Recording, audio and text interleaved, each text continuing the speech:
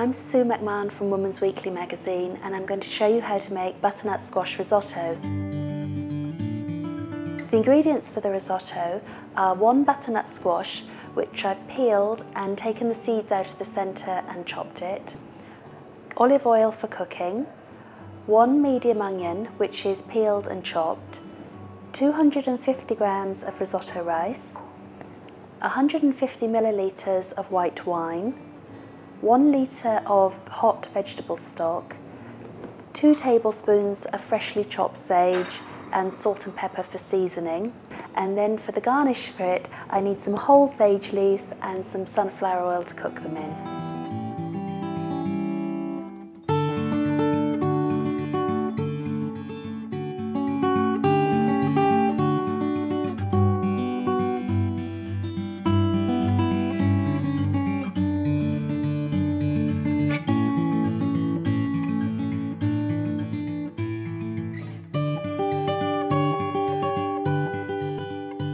To help bring out the flavour of the butternut squash, I find it's best to roast it. So I'm going to tip it into a roasting tin and then pour over two tablespoons of the olive oil for cooking and then turn those in the oil so that it's all coated. Then this needs to go in a hot oven preheated to 200 degrees centigrade or gas 6 and it needs to roast for about 30 minutes until the butternut squash starts to turn golden.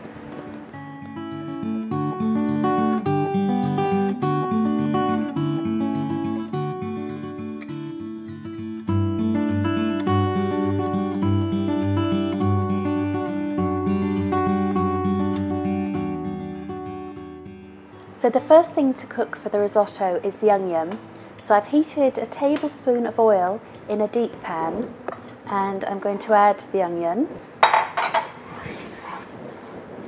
This onion needs to be cooked for about five minutes until it starts to soften. So once the onion has softened but not started to colour too much, you can add the rice to the pan and then stir this so that it mixes with the onion. The next thing to add is the white wine and I'm going to add half of it and keep stirring until it evaporates. So the rice will be absorbing the flavour of the wine. And then add the rest of it and do the same thing. Cook it until it looks almost dry again.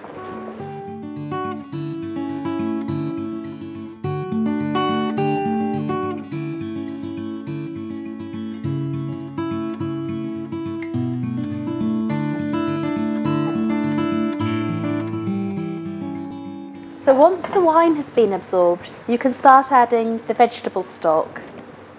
Adding just a small amount at a time and keep stirring it so that it brings out the stickiness in the rice. It should be creamy and sticky when it's finished. Unlike a rice like basmati rice, where all the grains of rice stay very separate, with risotto rice, the types of starches in it come out of the grain to thicken the risotto. It's better to keep adding the stock gradually rather than adding it all at the beginning and then you can see exactly how much it needs. It might not take the full litre of stock.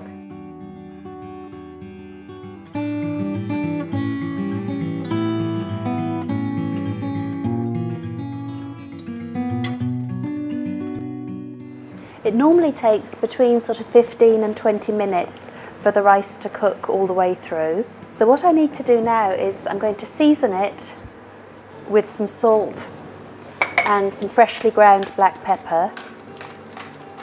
And then I'm going to add the chopped sage and stir it all to mix it. Then the essential part to add is the roasted butternut squash. So this is how it should look after it's been roasting in the oven for about 20 to 30 minutes. I'm going to tip that into the pan and mix it in. So that's my butternut squash risotto all ready to serve. I just need to quickly prepare the garnish for it.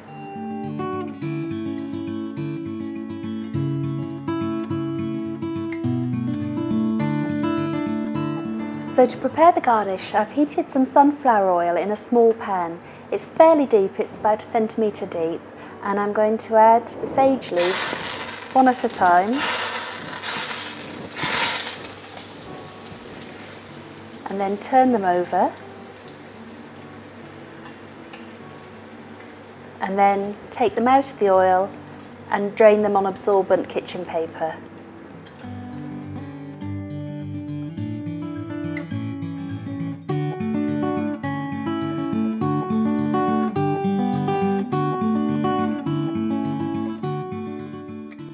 So the risotto is now ready to serve.